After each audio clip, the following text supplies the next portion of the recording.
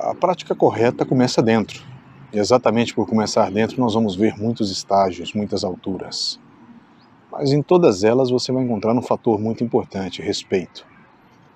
O respeito pelo outro, o respeito por você, o respeito pela trajetória do caminho, o respeito pelos limites, o respeito pelas vontades, pelos desejos.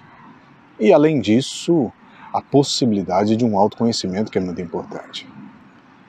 Qualquer que seja o caminho, independentemente da prática, ele tem que te questionar, ele tem que te colocar de frente com você mesmo, ele tem que fazer você se ver na dificuldade do outro, se ver na facilidade do outro.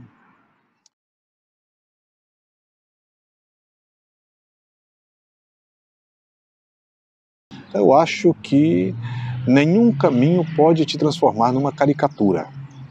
Ele deve ser você dentro das possibilidades de ser alguma coisa melhor. É, se você quer ser, por exemplo, um lixeiro, seja o melhor. Se você vai ser um pintor, seja o melhor.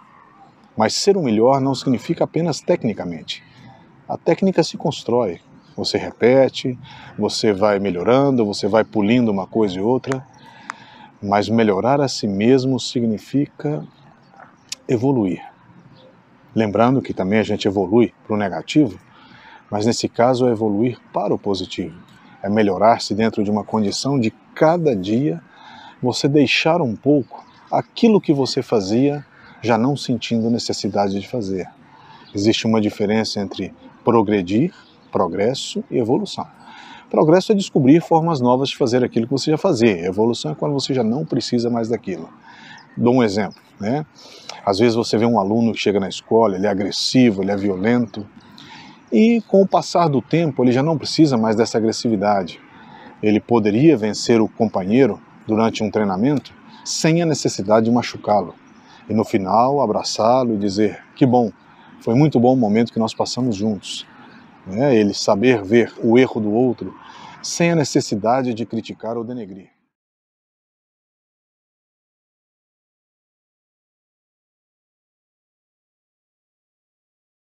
Crítica positiva ela não significa denegrir, ela não significa acusar o outro, ela não significa colocar o outro numa posição desconfortável, desagradável, né?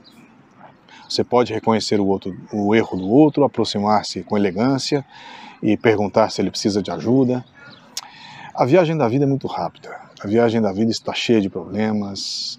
Eu sempre falo que mentira, traição, engano, ataques, isso já está no menu da vida. A gente já nasce sabendo que isso nós vamos encontrar pelo caminho. Então, se você não é capaz de se tornar melhor dentro, para que o seu caminho, pelo menos a sua perspectiva, seja mais agradável, reveja os seus conceitos em relação à prática, em relação ao caminho que você escolheu.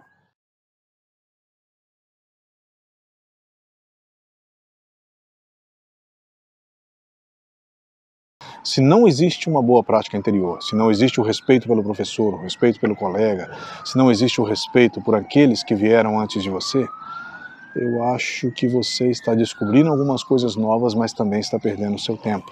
Na minha forma de ver. Talvez seja o que você espera dos resultados que você está almejando para o seu caminho.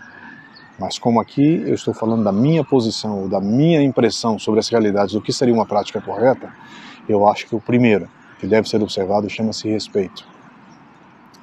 Às vezes, se calar, ser gentil, é muito mais importante que ter a palavra final. Às vezes, ver a arrogância do outro e simplesmente baixar o olhar e sair de perto demonstra que você reconhece a pequenez do outro e nem por isso precisa machucá-lo, nem por isso precisa colocá-lo em seu devido lugar. Nós já passamos essa época. E quando você passa dessa época, você entende que é preferível você cuidar do seu treinamento, da sua vida. Existem tantas coisas para serem vistas, para serem reorganizadas, para serem buriladas. Perder tempo com outro, perder tempo com alguém, não é interessante.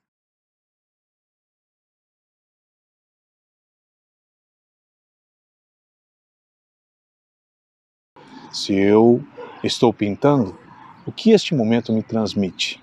O cheiro da tinta, a sensação do pincel com o papel. Se eu estou praticando com uma espada, por exemplo, como eu sinto meu corpo, meu espírito, como eu sinto a minha mente nesse momento, ela está inquieta, ela está bem. Isso para mim, essa autoobservação, essa forma de estabelecer a própria o próprio burilamento, né, o próprio aperfeiçoamento, para mim é o que se chama e o que eu conheço como uma prática correta.